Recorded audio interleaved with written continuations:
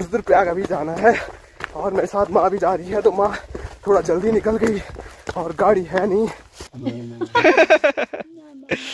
परेशान मत करो मेरे को। ऐसे करके चल रहे थे वल कल। है? और आज फिर देखो। बहुत जिद है माँ और बापू जी के अंदर।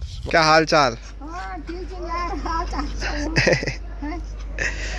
खतरो ना टैंकी पे मारे ला तो बहुत टैंकी पे बचेगी ना। हाँ? टैंकी नहीं बचेगी। चलो नानी तब। हो जाओ चालू। आज नानी और मेरी जोड़ी बनाएगी आराम से रोटी। कि सुबह सुबह बच्चे आते हैं और वो दहली पे फूल डाल के चले जाते हैं तो यहाँ हेलो दोस्तों नमस्कार। क्या हाल चाल मैं हूँ प्रमोद रावत और आप सभी का स्वागत करता हूँ एक और नई वीडियो में एक नए शानदार ब्लॉग के साथ। दोस्तों सुबह के नौ बज रहे हैं और चिड़ियाओं के चहचहाने से आज के ब्लॉग की शुरुआत हो रही है अपने घर के पास से ही चाची लोगों की गौशाला की छत से। और आज है संक्रांति का दिन तो आज से चैत्र मास लग गया है और चैत्र मास के लगते ही हमारे पहाड़ों में एक खूबसूरत सा त्यौहार मनाया जाता है, जिसको बोलते हैं फुलदई का त्यौहार, फुलदई का त्यौहार पहाड़ के सभी लोग जानते होंगे क्योंकि ये त्यौहार सिर्फ़ पहाड़ों में ही मनाया जाता है। पहाड़ का एक लोक पर्व है हमारा फुलदई त्यौहार। ये क्यों मनाया जाता है? इसके पीछे मतलब बहुत सारी कहानियाँ हैं। तो यहाँ पर कुछ ऐसे भी कहते हैं कि जो एक फुलदई है, वो एक देवी है, फूलों की देवी है। तो चैत मास में वो अपने मायके आती है और कुछ दिन अपने पूरे मतलब मायके में घूमती है, फिरती है, खेलती है। और फिर वापसी चले जाती है अपने मायके से ससुराल। तो पहाड़ों में जो फुलदई का त्यौहार है, वो कहीं एक महीने तक मनाया जाता है, कहीं पंद्रह दिन तक मनाया जाता है। और हमारे यहाँ की मैं बात करूँ तो ये मनाया जाता है मात्र आठ दिन के लिए। और आठवें दिन फिर मतलब जो फुलदेवी माता है, वो अपने ससुराल चले जाती है। तो ऐसा ही कुछ त्यौहार मनाते हैं। और ये वीडियो आपके पास थोड़ा लेट से पहुँच रही होगी क्योंकि कुछ दिक्कतें बीच में आ गई थी, मैं बता रहा हूँ। तब से मैं रेगुलर वीडियो बना रहा हूँ, लेकिन एक दो दिन पीछे मेरे जो ब्लॉग हैं, वो चल रहे हैं। तो उसके लिए मैं आप सभी लोगों से क्षमा चाहता हूँ। और कैसे ये त्यौहार मनाते हैं, क्या होता है तो ये मैं आपको कल या परसों के ब्लॉग में बता दूँगा। मतलब आठ दिन तक ये त्यौहार चलेगा तो आने वाले दिनों में मैं आपको बता दूँगा इस त्यौहार में क्या क्या करते हैं। वैसे आज सुबह बता देता, लेकिन आजकल तबीयत गड़बड़ है तो सुबह उठ नहीं पाया मैं तो फिर आपको दिखा नहीं पाया तो थोड़ा अपने मुँह से ऐसे ही मैं आपको बताऊँ फुलदही त्यौहार में क्या होता है। तो फुलदही माता की एक डोली होती है, जो कि गाँव के बच्चे अपने कंधों में रखते हैं और फुलदही माता के साथ वो पूरे गाँव में भ्रमण करते हैं। साथ साथ में वो फूल लेके आते हैं जंगल से और फिर घर की जो डेहली होती है चौकट होती है, वहाँ पर फूल डालते हैं। तो कुछ ऐसे ही त्यौहार मनाया जाता है और जो फूल डालते हैं, जो डोली के साथ जो बच्चे होते हैं, उनको फुलारी बोलते हैं और जो फुलदही माता है फुलदही माता को हमारे यहाँ घोगा माता के नाम से जाना जाता है। तो ये आप देख सकते हैं, जैसे मैं बोल रहा था कि सुबह सुबह बच्चे आते हैं और वो दहली पे फूल डाल के चले जाते हैं। तो यहाँ पर देखिए बुरांस के फूल हैं और बाकी फूल तो कुछ दिख नहीं रहे हैं।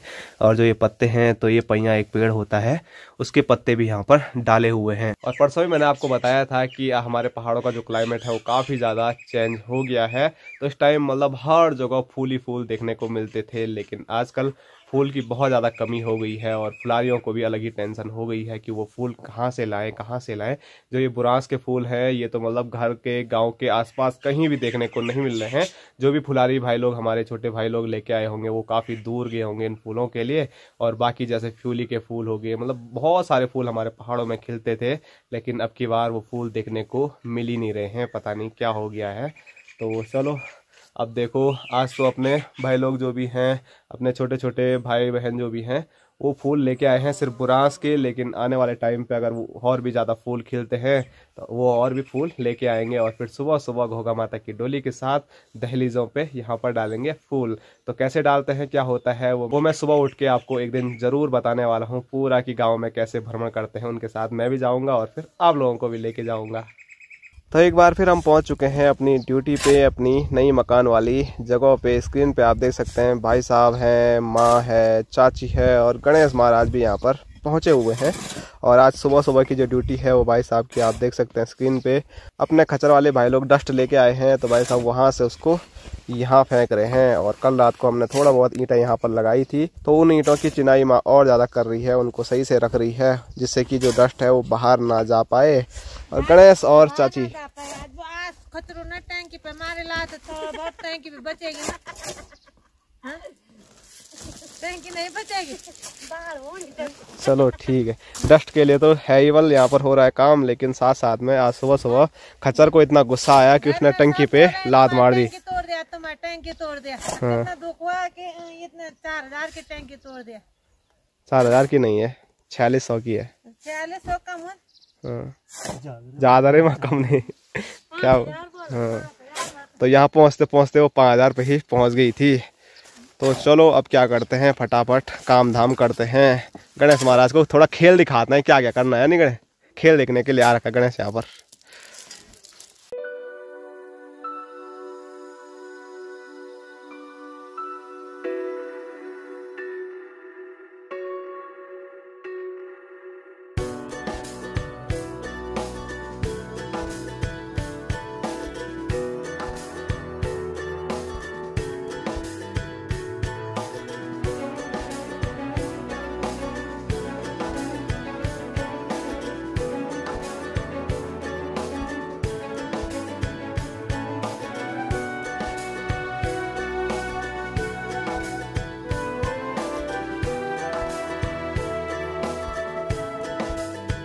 तो अपने खच्चर वाले भाई लोग एक और चक्कर लेके पहुँच चुके हैं। डस्ट का अपने जित्तो भाई और दीपक भाई। Hello hello hello hello hello hello hello hello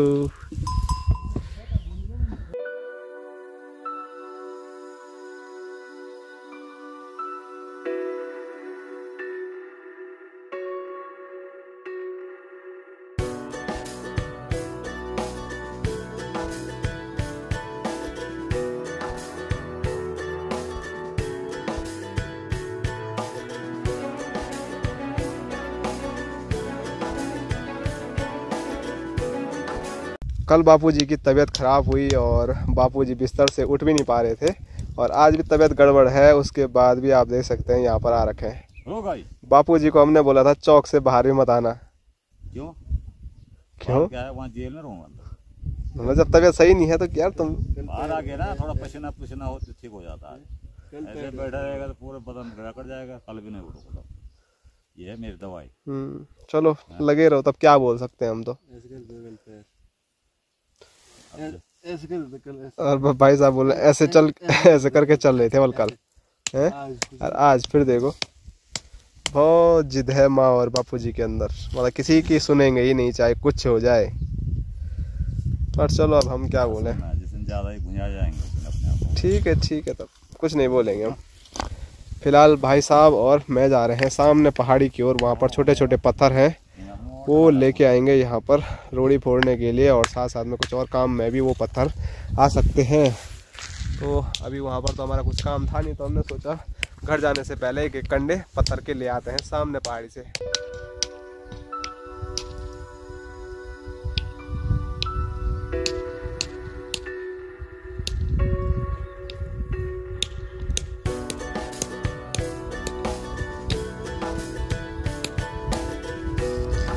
तो फटाफट हम पहाड़ी पे आए और यहाँ से देख सकते हैं हमने कंडे भरे और चल पड़े वापसी गाँव के लिए। और यहाँ का रास्ता तो मैं कई वीडियो में आपको बता रहा हूँ। बड़ा खतरनाक है। पैर फिसला तो आदमी सीधे नीचे जाने वाला है। तो भाई साहब ने तो तर ली वो चीज़, लेकिन अब मेरा क्या होगा? तो चलो, अब हम भी चलते हैं।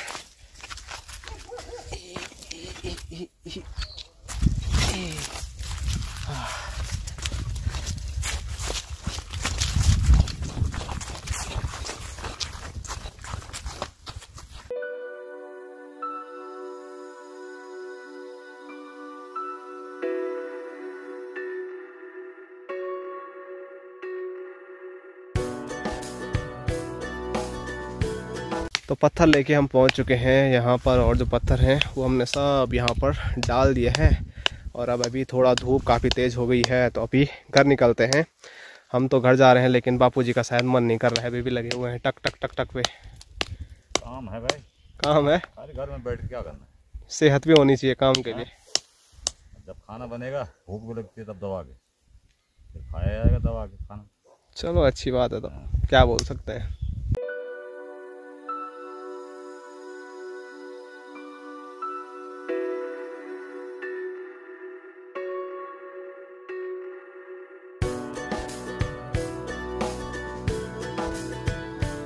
और अभी हम आए हैं दादी के पास में और दादी की यहाँ पर फ़ोटो खींची जा रही है यहाँ से।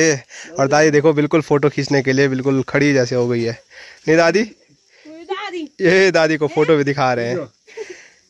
हे खुश हो गई दादी। फ़ोटो देख के। हाँ मज़ा आ गया बल। ये तो कुछ? ये कुछ? ये कुछ?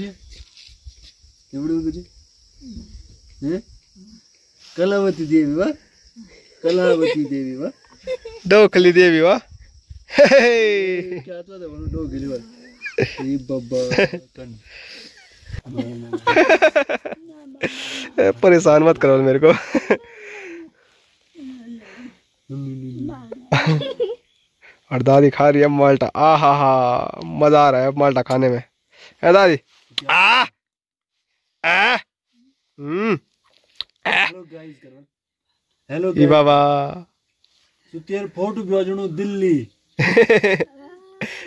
यार देवा अतैन तेर पिंड औ भी दिखेल्या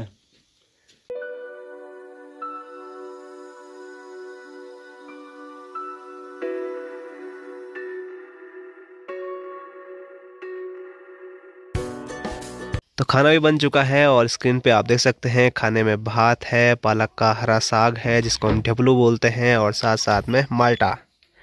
दोस्तों, जैसे ही भात खाया, उसके बाद भागे भागे मैं जा रहा हूँ रोड की ओर, क्योंकि मुझे रुद्रप्रयाग अभी जाना है और मेरे साथ माँ भी जा रही है तो माँ थोड़ा जल्दी निकल गई और गाड़ी है नहीं तो बड़ी दिक्कत हो रही है।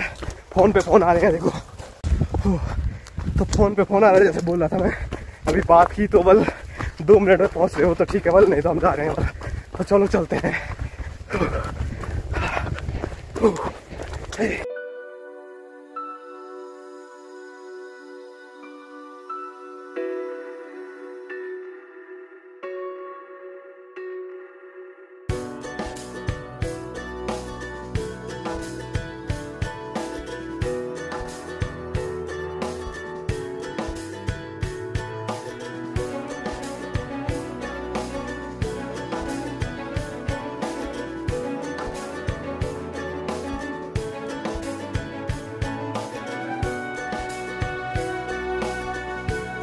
Hello rascal hello hello hello ला।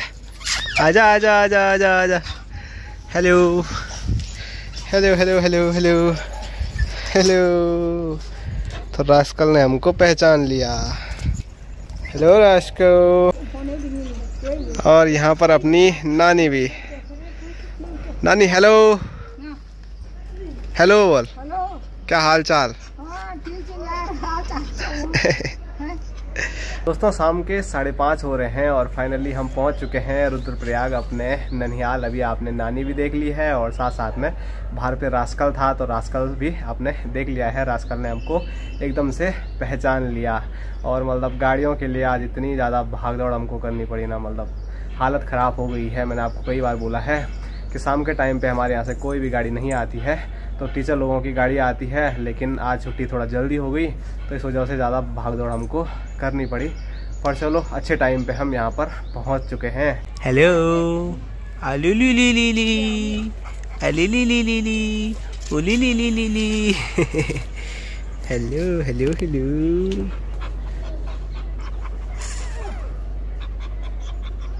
खा खा खा। खा खा खा खा खा खा खा।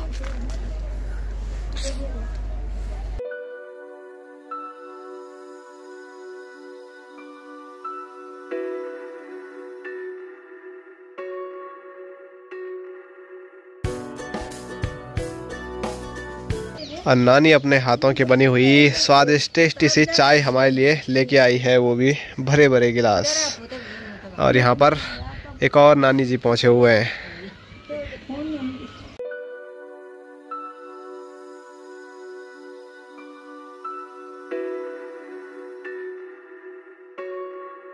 तो बाहर अंधेरा हो चुका है और स्क्रीन पे आप देख सकते हैं। तो माँ यहाँ पर लेटी हुई है सोफे में। नींद आ रही है? माँ बहुत ज़्यादा थक गई वाला आज गाड़ी की वजह से काफ़ी ज़्यादा भाग दौड़ हो गई है और मामा जी भी पहुँच चुके हैं अपनी ड्यूटी से घर। आपको तो नहीं आ रही नींद? जरा बताओ दीदी जी को जरा खाना को ना बनाओ बोलो।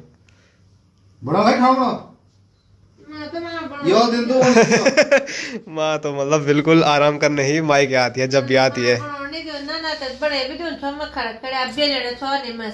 और मामा जी के सामने माँ को शर्म आ रही है हिंदी बोलने में। आज माँ गढ़वाली बोल रही है पहली बार। शर्म आ गई। काम करने के लिए बोला तो थकान लग गई मुझे नींद आ रही है। हैं? और जलेबी देखी माँ ने हमसे खड़ी उड़ गई। है? अच्छा हो रहा है? है, अब माँ ने हिंदी बोल दिया फिर से क्योंकि यहाँ पर मामा जी है नहीं अभी। खाली अपने आप खा लिया ऐसे भी नहीं बोली बेटा तो भी खा ले जरा। तो गार्डन गए गार्डन। मैं तो मैं तो बिलोन चुप पे डाल मैं तो खान सोच छो यहाँ पर अपनी नानी है किचन में और नानी और मैं दोनों आज मिलके रोटी बनाने वाले हैं। तो नानी बोल रही एक बार गोली बनाती हूँ बल में नहीं तो मैं सोच रहा था कि वहीं से मैं गोली बनाता हूँ वहीं से रोटियाँ बनाता हूँ। तो फिर नानी वहाँ पका देगी जल्दी जल्दी। चलो नानी तब हो जाओ चालू। आज नानी और मेरी जोड़ी बनाएगी आराम से रोटी। और रोटियों पर मतलब पता नहीं कितने प्रकार के नक्शे में तैयार करता हूँ, वो आगे वीडियो में आपको ज़रूर दिखाऊँगा बीच बीच में। फ़िलहाल अब रोटी बनाने पर लग जाते हैं। तो ये देखो, ऐसी कुछ है मेरे हाथ की रोटियाँ। मैंने सोचा था नक्शा बनाऊँगा, लेकिन ठीक है गोल गोल रोटियाँ बन के तैयार हो रही है। और नानी यहाँ पर पका रही है फटाफट करके। तो अभी अपने हाथों से बनी हुई स्वादिष्ट गोल गोल रोटियाँ मैंने आपको दिखाई थी और वो गोल गोल स्वादिष्ट रोटियाँ अभी पेट में भी चले गई है और सब लोगों ने अभी खाना पीना खाया तो सब लोग सोने के लिए भी चले गए हैं। अब बस मेरी भी सोने की तैयारी है और मैंने सोचा सोने से पहले आपके कुछ सवाल रहते हैं तो उनके जवाब दे देता हूँ। और आज का जो पहला सवाल है, वो आप लोग कई बार पूछते हैं कि जो रुद्रप्रयाग डिस्ट्रिक्ट आप लोगों का है, उसका जो मेन मार्केट है, वो आपके गाँव से लगभग कितनी दूरी पर है?